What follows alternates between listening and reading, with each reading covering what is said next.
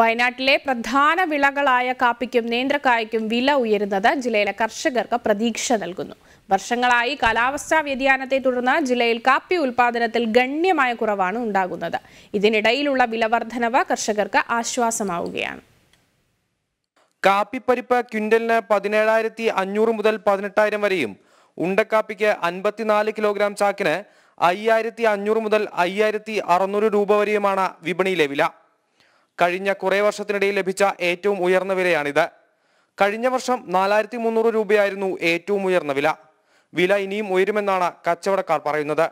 എന്നാൽ വിളവെടുപ്പ് പൂർത്തിയാക്കിയ ചെറുകിട കർഷകരിൽ ഭൂരിഭാഗവും കാപ്പി വിറ്റ് കഴിഞ്ഞു. ഇത് കർഷകർക്ക് തിരിച്ചടിയായിട്ടുണ്ട്.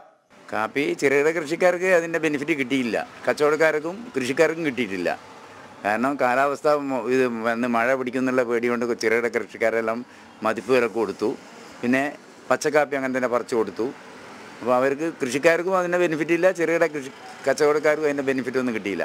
പിന്നെ ഗവൺമെന്റ് ഒരു അന്നത്തെ റണ്ണിങ് മാർക്കറ്റിൽ പത്ത് രൂപ കൂട്ടിയിട്ട് എടുത്തു. അങ്ങനെ കുറച്ച് ആൾക്കാർക്ക് അത് ഇരുന്നൂറ്റമ്പത് കിലോ ഒരു കൃഷിക്കാരനോട് ഇരുന്നൂറ്റമ്പത് കിലോ എടുക്കുന്നത്. അതുകൊണ്ടൊന്നും ഒരു കാര്യമില്ലല്ലോ. ഒരു ഒരു ഒരു അഞ്ഞൂറോ ആയിരോ കിലോ ഉള്ള ഒരു കൃഷിക്കാരനോട് ഇരുന്നൂറ്റമ്പത് കിലോ എടുത്തുകൊണ്ടൊന്നും കാര്യമില്ല. അങ്ങനെ ഒരു പ്രശ്നം അന്ന് നടന്നതല്ലാണ്ട് വലിയ ബെനിഫിറ്റ് ഒന്നും അവർക്ക് കിട്ടിയിട്ടില്ല.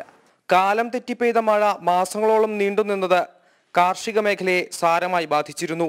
പൊതുവെ രോഗബാധ കുറവുള്ള കാപ്പിയെ ഇത്തവണ കർഷകർ വലിയ പ്രതീക്ഷയോടെയാണ് നോക്കിക്കണ്ടിരുന്നത്. ജില്ലയിലെ ഭൂരിഭാഗം കർഷകരും റോബസ്റ്റ കാപ്പിയാണ് കൃഷി ചെയ്തു വരുന്നത്. ഒരു കിലോ നേന്ത്രക്കായയുടെ നിലവിലെ വില നാൽപ്പത്തി എട്ട് രൂപയാണ്. ഒരാഴ്ച മുൻപ് അൻപത് രൂപ വരെ വില ഉയർന്നിരുന്നു. കഴിഞ്ഞ വർഷം ഇതേ സമയം ശരാശരി ഇരുപത് രൂപ മാത്രമാണ് വിലയുണ്ടായിരുന്നത്. തമിഴ്നാട് കർണാടക തുടങ്ങിയ സംസ്ഥാനങ്ങളിലെ നേന്ത്രക്കായ കാര്യമായി വിപണിയിലെത്താത്തതാണ് വയനാട്ടിലെ കർഷകർക്ക് ഇപ്പോൾ മികച്ച വില കിട്ടാൻ കാരണം ജനം വയനാട്.